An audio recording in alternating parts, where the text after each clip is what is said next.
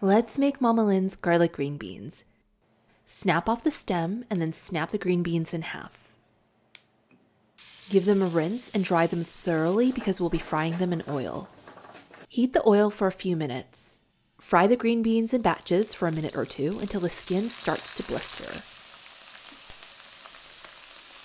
Then transfer them to a plate lined with paper towels. Saute some garlic. Then add the green beans back to the wok. Season with garlic salt, sesame seeds, and chili flakes. Enjoy!